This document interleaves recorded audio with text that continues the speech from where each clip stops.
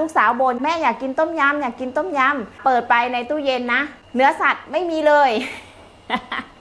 เจอไข่ค่ะมาค่ะ วันนี้นะคะ การจะชวนมาทำไข่เจียวต้มยำค่ะนะแซ่บๆค่ะ ต้มยังไงให้มันมีความแซ่บๆหอมๆอร่อยไม่แพ้เนื้อหมูเนื้อไก่กุ้งปลาหมึกเลยค่ะ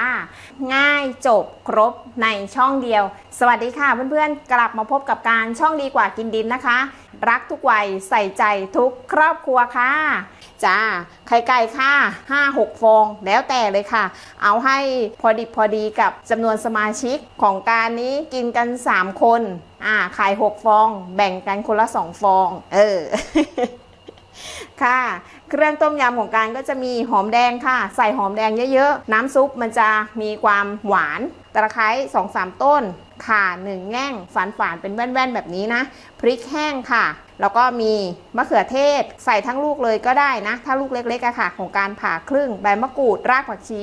เท่านี้ค่ะ เครื่องต้มยำ แล้วก็เครื่องโรยหน้าต้มยำนะกันก็จะเพิ่มใบกระเพราเพิ่มความหอมเข้าไป มีผักชีฝรั่ง ผักชีไทยหั่นท่อนๆนะคะ ปรุงรสด้วยน้ำมะนาว น้ำมะขามเปียก นี่เองเท่านี้เองค่ะ เราก็จะได้ต้มยำหม้อโตๆไว้ซดน้ำร้อนๆ ให้มันชื่นหัวใจแล้วค่ะ อยากกินต้มยำต้องได้กินจ้ามาค่ะ เดี๋ยวจะมาเตรียมในส่วนของไข่กันก่อน กระมังมาค่ะ ตอกไข่เลย ไข่กันก็จะฉีดน้ำปลาลงไปหน่อยหนึ่งเพิ่มความหอม ให้ไข่มันมีรสชาติ แล้วตีเหมือนไข่เจียวเลยจ้าอืมหอมน้ำปลาฟุ้งเลย นี่เลยค่ะ อืมเท่านี้เองค่ะ ไปค่ะ ลงมือทำกันจ้า ตั้งกระทะให้กระทะมีความร้อนก่อนนะ เสร็จแล้วเราก็ใส่น้ำมันค่ะ น้ำมันอะ การจะใช้เยอะนะ ในการเจียวไข่ แต่ว่าการจะเจียวไข่แบบ อมน้ำมันน้อยๆ ค่ะ น้ำมันร้อน เนี่ยใช้ไฟกลางๆค่ะ แล้วก็เทไข่ลงไป วนรอบเลย วนรอบน้ำมันเลย นี่เป็นยังไงเล่าฟูเต็มน้ำมันเลยจ้า เสร็จแล้วตรงกลางมันจะหนาไปใช่ไหมเราก็ตอนที่มันยังไม่เซ็ตตัว ใช้ซ่อมอะค่ะ ช่วยช่วยเกลี่ย วนวนวนวนวนวน วนวนสักพักหนึ่งโอ้ยไข่สีสวยมากเลยอะรอค่ะ ทีนี้เราก็รอ รอให้ไข่มีความเหลืองมีความกรอบ อืม กลิ่นเริ่มมาแล้วนะ อืมแค่เจียวไข่ก็ตื่นเต้นแล้วอะแง้มดูไข่ค่ะ เหลืองประมาณนี้ เหลืองกรอบประมาณนี้ค่ะ กลับด้านหนึ่งสองสามนี่ ประมาณนี้เลยจ้า ไข่มันก็จะมีความฟูฟู แค่ไข่เจียวก็กินขาดถอดใจแล้วมั้ง ไม่ต้องต้มยงต้มยำละปะเอาซอสพริกมาไปนั่งกินข้าวกันเถอะ น้ำปลาพริกมาก็ได้ไปคดข้าวมาจานนึงโอ้ยเห็นไข่เจียวแบบนี้แล้วอดใจไม่ไหวจริง ๆอะอะการจะเอาไข่ไปทำต้มยำนะ การจะเจียวให้มันมีความกรอบข้างนอก ผิวด้านนอกมีความกรอบ อันนี้นะบอกเลยเจียวไข่แบบล้วนๆเลยไม่ได้ใส่ปงใส่แป้งอะไรเลยนะคะ ค่ะ ประมาณนี้จ้า เอาค่ะ ไข่เหลืองได้ที่สองด้านแล้วค่ะ ก่อนจะตักขึ้นปรับไฟค่ะ ขึ้นมาเป็นไฟแรงสุดๆเลยค่ะ ก็หาตะกงตะแกรงมานะ เสร็จแล้วเราก็ช้อนไข่ค่ะ ขึ้น โอ้โห สวยมาก นี่ เราก็จะได้ไข่เจียวแบบนี้แล้วค่ะ พักไว้ให้เสด็จน้ำมันแล้วก็เดี๋ยวการจะเอาไข่อะไปหั่นให้เป็นชิ้นๆนะคะ เพื่อที่จะเอาไปต้มยำต่อค่ะ น้ำมันเหลือๆนะคะ เจียวไข่แบบนี้ น้ำมันไม่เสียไม่ดำไม่คล้ำด้วยค่ะ เห็นไหมอ่าแค่เจียวไข่ก็กินขาดแล้วจ้า ไปค่ะ ไปต่อค่ะ ยังไม่เสร็จนะคะ เทน้ำมันออกค่ะ กระทะตั้งเตา หอมแดง ข่า ตะไคร้ หอมแดง กระเทียมพวกนี้ค่ะอะเอาลงมาคั่ว ให้มันผ่านความร้อนให้มันโดนความร้อนมะเขือเทศคั่วด้วยก็ได้ เดี๋ยวส่วนพริกเก็บไว้ก่อนเนี่ยค่ะคั่วเลย ไม่ต้องแยกคั่วทีละชนิดนะเนาะมันช้าการก็จะรวบยอดเลย เก็บพริกไว้เอาไว้คั่วทีหลังมะเขือเทศอะเอามาคั่วแบบเนี้ยแล้วไปต้มอะ มันจะมีความนุ่มมันจะมีความละมุนมากเลยนะกินอร่อยอะ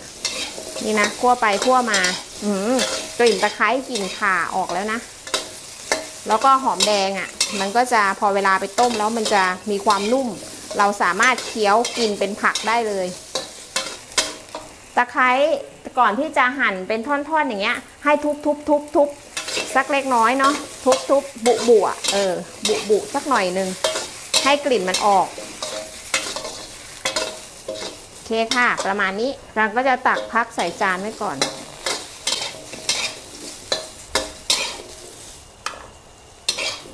จากนั้นการก็จะเอาพริกค่ะ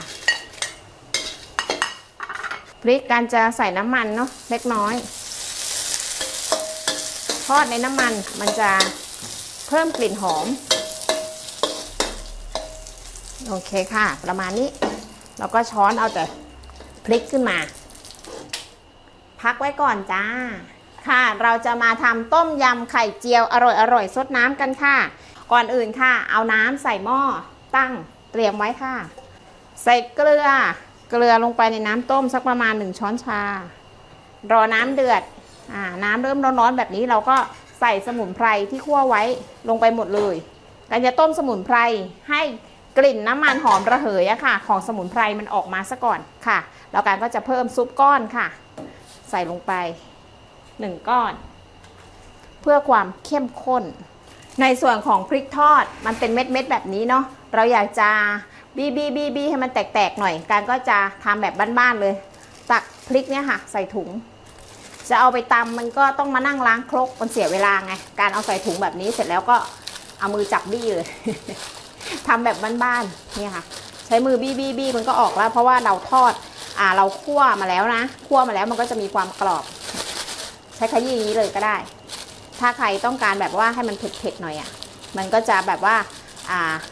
ไม่ไม่ได้ละเอียดมากก็จะหยาบๆนี่ไงเราก็จะได้พริกแห้งคั่ว พร้อมที่จะใส่ต้มยำพร้อมที่จะแซ่บกันแล้วค่ะ ต้มสมุนไพรเดือดๆมาสัก 2-3 นาทีได้ละ ทีนี้เดี๋ยวจะมาปรุงในส่วนของรสชาติกันค่ะ น้ำต้มยำเนาะจะต้องให้เข้มข้นค่ะ การก็จะใส่น้ำปลา1ทัพพีนี้เท่ากับ 5 ช้อนโต๊ะนะ ช้อนกินข้าวช้อนสั้นนะคะใส่ลงไปเลยนี่ห้าช้อน อันนี้จะเป็นน้ำมะขามเปียกค่ะหนึ่งทัพพีก็ 5 ช้อนเหมือนกัน ใส่ลงไป ลองชิมดูเนาะอืมอร่อยแล้วอะการจะเพิ่มเกลือค่ะ ลงไปอีกสักประมาณ 1 ช้อนชา หม้อใหญ่อยู่เนาะเอาค่ะ เมื่อเดือดจะจัดๆแล้วเราก็เบาไฟลงใช้ไฟกลางๆ คือข้อสำคัญเลยอะก่อนที่เราจะใส่ไข่ลงไปอะเราต้องปรุงในขั้นตอนเนี้ยในขั้นตอนน้ำต้มยำเนี่ยค่ะ ให้ได้ที่เลย เพิ่มน้ำปลาอีกสักประมาณ 2 ช้อนเอาค่ะ ก็ลองปรับแต่งรสชาติให้ได้ตามชอบเลยนะการจะเพิ่มความเปรี้ยวอีกนิดนึงน้ำมะขามเปียก แล้วลองชิมดูก่อน ใส่ใบมะกรูด ฉีกลงไป ประมาณนี้ก่อนค่ะ เดือดๆอย่างนี้ปุ๊บปั๊บเราก็ใส่พระเอกของงานนี้ลงไป ไข่เจียวจ้าโอ้โหน่ากิน นี่ใส่ลงไปเลย น้ำเยอะๆซดน้ำ โอ้โห น่ากินมากเลยค่ะ รอให้เดือดนิดนึง หอมแดงอะ ถ้าใครชอบอใส่เยอะๆได้เลยนะ มันจะทำให้น้ำซุปอะ มันมีความอร่อย แล้วเราก็สามารถกินเป็นผักได้เลย หอมแดงนะคะ ไม่ใช่เห็ดฟาง ค่ะ หลังจากนั้นเราก็จะมาใส่ใบเขียวๆกันค่ะ ใบมะกรูดฉีกส่วนที่เหลือ ต่อไปก็จะเป็นผักชีฝรั่ง ผักชีไทย แล้วก็ใบกระเพราค่ะโรยนี่ ใส่แบบนี้เลย โอ้ย น่ากิน น่ากิน โรยพริกค่ะ ใส่ลงไป ถ้าใคร